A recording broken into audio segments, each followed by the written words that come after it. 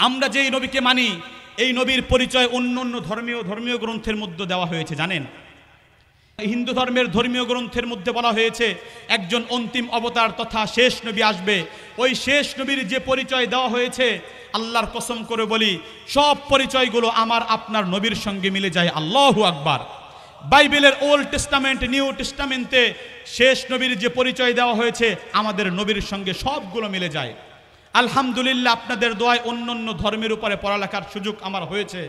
আমি বলতে পারি, শুধুমাত্র হিন্দু ধর্মের থেকে আল্লাহর রসুলের পরিচয়টা দেব ইংসা যদি মেলে, সবাই বলতে পারবেন তো ঠিক কিনা? ঠিক বলতে পারবেন? হিন্দু ভাইদের ধর্মীয় গ্রন্থ, হিন্দু ধর্ম থেকে শুরু আল্লাহর নবীর পরিচয় দিচ্ছি, শোনেন। হিন্দু ভাইদের ধর্মীয় গ্রন্থ, ঋগ্বেদের এক নম্বর মণ্ডলের, আঠারো নম্বর সূক্তের, নয় নম্বর মন্ত্রের মধ্যে বলা হয়েছে, নর সংসং সিরিধীরিষ্ট মম পশ্যং সপরথস্তমং দিবন সদ্ধমক্ষম। অর্থাৎ অন্তিম অবতার যিনি আসবে, শেষ নবী যিনি আসবে, তার নাম হবে নরাশংসা। নরাশংসা এটি সংস্কৃত শব্দ।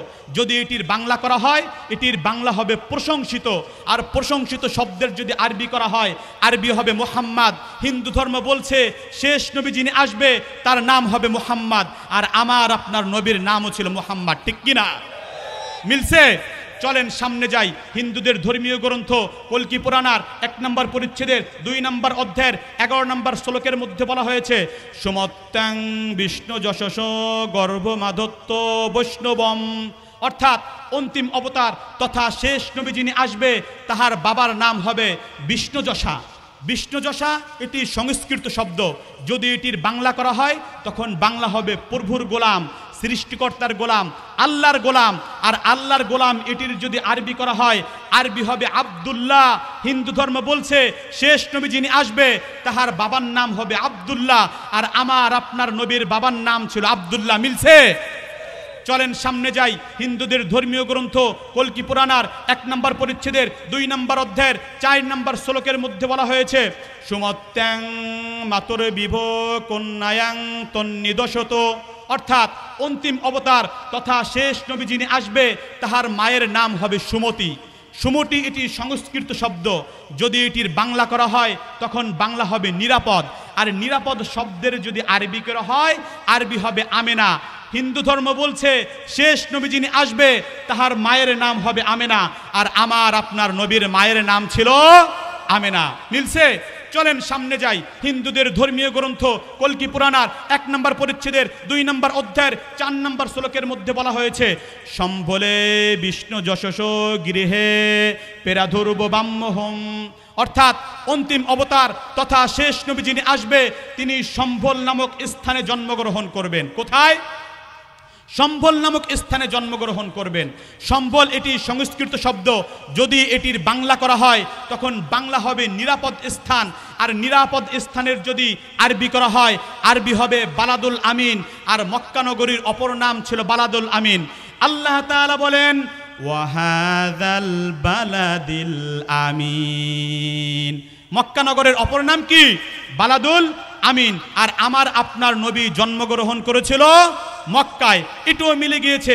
চলেন সামনে যাই। হিন্দুদের ধর্মীয় গ্রন্থ, ঋগ্বেদের দুই নম্বর মণ্ডলের, তিন নম্বর সূক্তের, দুই নম্বর মন্ত্রের মধ্যে বলা হয়েছে, নর সংসং প্রতিধামান নঞ্জু তিস্র দিব প্রতিমন হাসরচি অর্থাৎ অন্তিম অবতার তথা শেষ নবী যিনি আসবে, তার চেহারা অনেক সুন্দর হবে। কেমন যেন তার চেহারা থেকে আলো বের হতে থাকবে। হিন্দু ধর্ম বলছে, শেষ নবী যিনি আসবে, তার চেহারা অনেক কি হবে? সুন্দর হবে।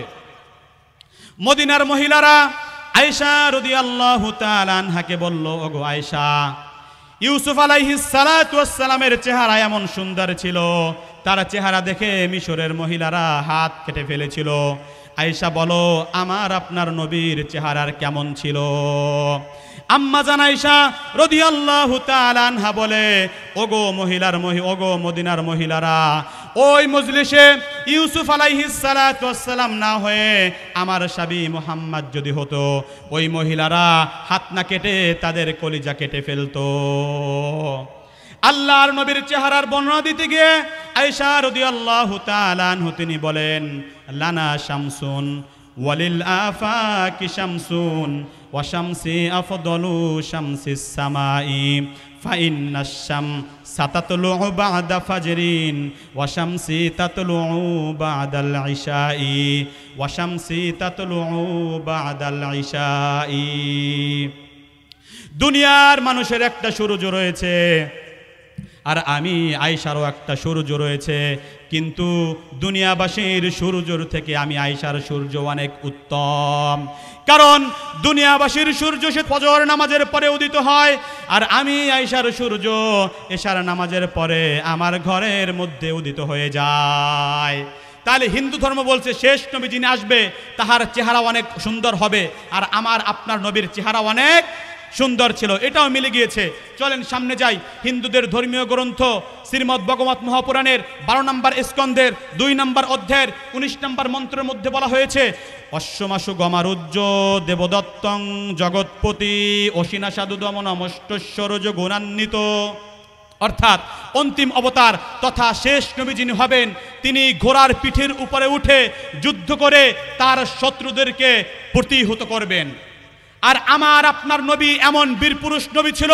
আমার আপনার নবী একাধিক জিহাদের ময়দানে তরবারি দ্বারা ঘোড়ার পিঠের উপরে যুদ্ধ করে তার শত্রুদেরকে জাহান নামে পাঠিয়ে দিয়ে বিজয়ের পতাকা তার হাতে তিনি উড়িয়েছেন, ঠিক কিনা?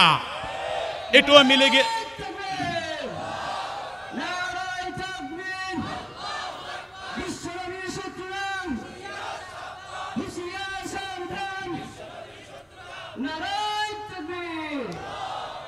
চলেন সামনে যাই। হিন্দুদের ধর্মীয় গ্রন্থ শ্রীমদ্ ভগবত মহাপুরাণের বারো নম্বর স্কন্ধের দুই নম্বর অধ্যায়ের বিশ নম্বর অনুচ্ছেদ বিশ নম্বর মন্ত্রের মধ্যে বলা হয়েছে, বিচরণ্য শুনা কন্যায়াং হয় না প্রতিমদ্যুতি, নির্পলিঙ্গচ্ছদ দর্শন কোটিশ নিহনস্বতী অর্থাৎ অন্তিম অবতার তথা শেষ নবী যিনি হবেন, তার পুরুষ অঙ্গের অগ্রভাগ কাটা অবস্থায় থাকবে। অর্থাৎ তিনি খতনাকৃত অবস্থায় দুনিয়ার জমিনে জন্মগ্রহণ করবেন। মা আমিনা বলেন, দুনিয়ার সকল শিশু দুনিয়ায় জন্মগ্রহণ করার পরে খতনা করাতে হয়। আর আমার সন্তান মুহাম্মাদকে কে যেন পেটের মধ্য থেকে খতনা করিয়ে দিয়েছিল? এটিও মিলে গিয়েছে। আল্লাহর নবীর পরিচয় হিন্দুদের ধর্মীয় গ্রন্থের মধ্যে আরও বলা হয়েছে। ঋগ্বেদের এক নম্বর মণ্ডলের তেরো নম্বর সূক্তের তিন নম্বর মন্ত্রে আরও বলা হয়েছে। ঋগ্বেদের এক নম্বর মণ্ডলের আঠারো নম্বর সূক্তের নয় নম্বর মন্ত্রে আরও বলা হয়েছে। ঋগ্বেদের এক নম্বর মণ্ডলের একশো ছয় নম্বর সূক্তের চার নম্বর মন্ত্রে আরও বলা হয়েছে। ঋগ্বেদের এক নম্বর মণ্ডলের একশো বিয়াল্লিশ নম্বর সূক্তের তিন নম্বর মন্ত্রে আরও বলা হয়েছে। ঋগ্বেদের পাঁচ নম্বর মণ্ডলের পাঁচ নম্বর সূক্তের দুই নম্বর মন্ত্রে আরও বলা হয়েছে ঋগ্বেদের দুই নম্বর মণ্ডলের সাত নম্বর সূক্তের সাত নম্বর মন্ত্রে। আরও বলা হয়েছে ঋগ্বেদের দশ নম্বর মণ্ডলের চৌষট্টি নম্বর সূক্তের তিন নম্বর মন্ত্রে। আরও বলা হয়েছে ঋগ্বেদের দশ নম্বর মণ্ডলের একশো বিরাশি নম্বর সূক্তের দুই নম্বর মন্ত্রে। আরও বলা হয়েছে যজুর্বেদের বিশ যজুর্বেদের বিশ নম্বর অধ্যায়ের ছত্রিশ নম্বর অনুচ্ছেদে, বিশ নম্বর অধ্যায়ের সাত্রিশ নম্বর অনুচ্ছেদে, বিশ নম্বর অধ্যায়ের সাতান্ন নম্বর অনুচ্ছেদে, একুশ নম্বর অধ্যায়ের একত্রিশ নম্বর অনুচ্ছেদে, একুশ নম্বর অধ্যায়ের পঞ্চান্ন নম্বর অনুচ্ছেদে, আঠাশ নম্বর অধ্যায়ের দুই নম্বর অনুচ্ছেদে, আঠাশ নম্বর অধ্যায়ের উনিশ নম্বর অনুচ্ছেদে, আঠাশ নম্বর অধ্যায়ের একচল্লিশ নম্বর অনুচ্ছেদে। এছাড়াও হিন্দু ধর্মের আরও একাধিক জায়গায় আমার আপনার নবীর পরিচয় দেওয়া হয়েছে।